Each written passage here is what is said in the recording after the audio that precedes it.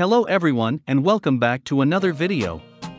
Mamady Doumbouya, the leader of Guinea's junta, was sworn in as interim president on Friday, overseeing what regional powers hope will be a quick transition to constitutional governance following President Alpha Conde's removal on September 5.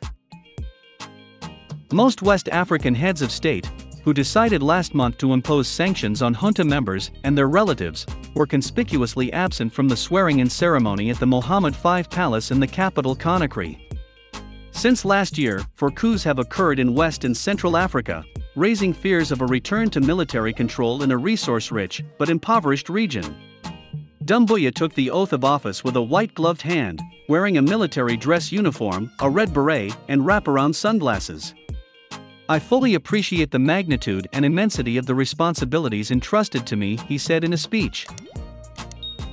He promised to lead a transition that would include the creation of a new constitution, the battle against corruption, electoral reform, and the holding of free and fair elections. The junta has stated that its members will be prevented from running in the next elections, but has not specified when these will be held, citing an 81 member Transitional National Council as the decision making body. The Economic Community of the West African States, a regional organization, has frozen the junta's assets and imposed travel bans in the hopes of promoting a speedy return to democracy.